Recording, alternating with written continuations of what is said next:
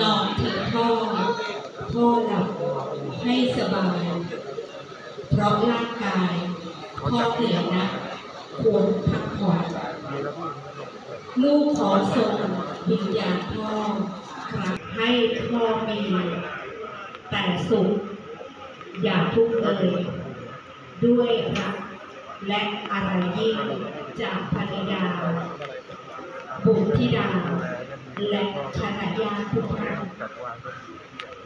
นน้องคณะเรียนเชิญ ท่านวุฒิชัยด่านชัยวิจิตรนายกเทศมนตรีเมืองอยุธยา ได้ให้เกียรติขึ้นทอดผ้าไตรกรรมสุขอุ่นผืนสุดท้าย บนชาปนิสถาน ขอน้องคณะเรียนเชิญท่านด้วยความเคารพเป็นอย่างสูงครับและขอเรียนเชิญท่านได้ให้เกียรติเป็นประธานจุดฝ่ายประชุมเพลิงฝ่ายคารวาสเป็นท่านแรก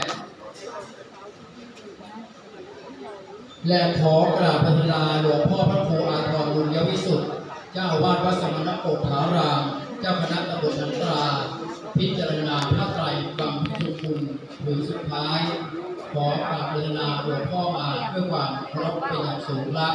ลงทางบันไดข้างหน้าพระเดียครับในนามคณะเจ้าภาพครอบครัวชุมพลาต้องขอกราบขอบพระคุณท่านผู้นิชัยจากชัยวิจิตนายกเทศมนตรีเมืองอยุธยา ที่ท่านได้ให้เกียรติเดินทางมาเป็นประธานในพิธีในการประชุมเพลิงศพ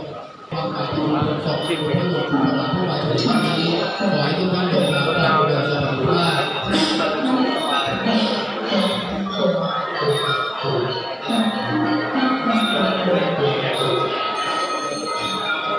พระ